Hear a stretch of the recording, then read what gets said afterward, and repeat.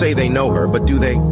Do you know why she loves hugs? Why she's always in her room? Why she gets mad easy? Why her arms are always covering her stomach? Why she hates school? Why she hates eating? Why she cries a lot? And why does she care so much? Don't say you know her if you don't know her.